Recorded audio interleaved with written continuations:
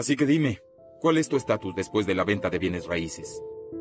Señor Unal, después de la venta no tendrá otra propiedad de excepción de la casa rediseñada. Estoy sorprendido.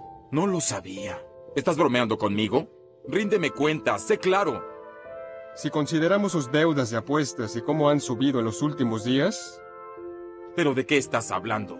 ¿Me estás regañando? No, señor. ¿Cómo podría? Solo hacía mención de sus últimos gastos y lo que quiero decir con esto es que...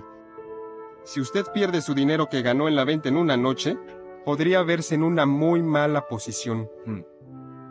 Ese dinero no solo es para mí, sino que lo será para toda mi familia.